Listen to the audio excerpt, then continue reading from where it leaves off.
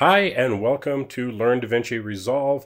Today, we're going to dig into the world of Fairlight and show you how to do auto ducking. So stand by, and we will be right back.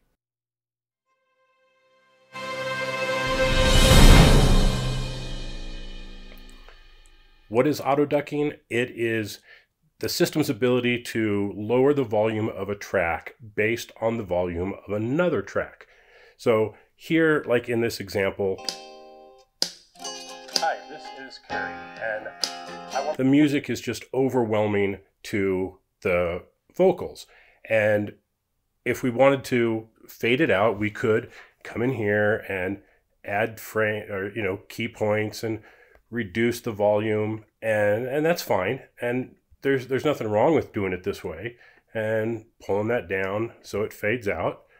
And hi this is Kerry and so there, there's nothing wrong with that and on a simple clip that is probably the easiest way of doing it is just create some key points pull the volume down and call it a day but if you have a big production and you have a lot of clips and you want the music to come in and you want it to come out, and it can be very tedious to sit there and do that, especially with a bunch of different music tracks. So uh, there's a very simple way of doing it within Fairlight. So I've got the footage here. I'm going to go into the Fairlight page.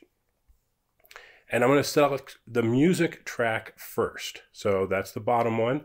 And that is audio 2 and I'm going to double click in this box that says dynamics. It's going to bring up this box and I'm going to click on listen. So I want it to listen to another track. And I'll go to the voice track and that's audio one. So I'll double click in dynamics and I'm going to click on send. So pretty straightforward. The vocal track is sending, the music track is listening. So we'll go back in and we'll double click on dynamics so we can bring this up. And what do we want it to do while it's listening? So I'm going to turn on the compressor so we can lower the volume and um, see how it goes. So let's give this a quick play and see where it's at with my settings. Hi, this is Kerry, and I want to talk to you about the scan that's going.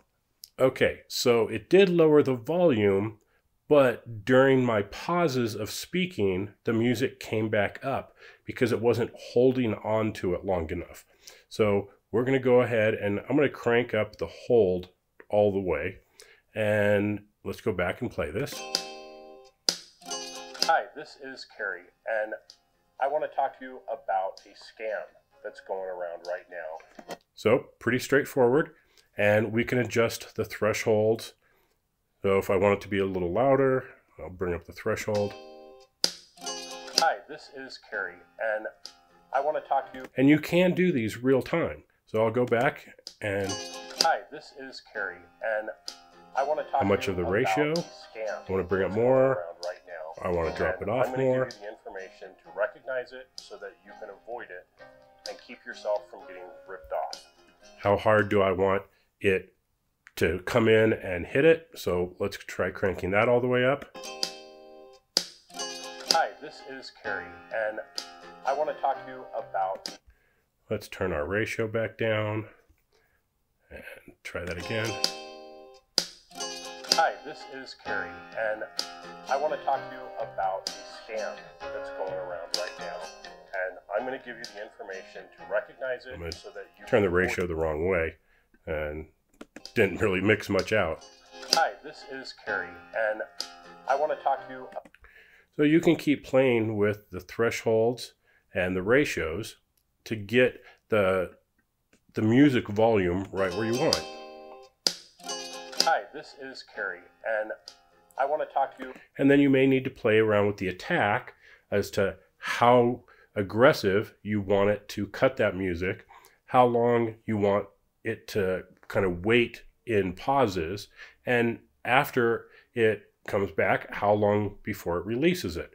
So pretty simple controls here on getting this set up. So this is in, uh, I believe this came out in 15, maybe it was in the original 15.0. I'm using 15.2. It works really well. So just remember that the one that you want it to be the master is going to be doing the send, and the one that you're going to be automatically adjusting is going to listen, and then just play around with these controls to get the audio sounding the way you want. So pretty simple. This is, uh, like I said, Fairlight is a very powerful engine, and this is just one very simple thing that you can do to make your audio and video production a little smoother with DaVinci Resolve. So I hope this helps out some people, and thanks for watching. Be sure and subscribe hit that bell icon to make sure you get notified when new videos come out. And we are going to be having some very cool giveaways coming up, so stay tuned for all that. Thank you all for your support. I really appreciate it. Each and every one of you uh, means a lot that you guys have subscribed and listen and you, you give me feedback all the time. So thanks for watching and I will catch you next time.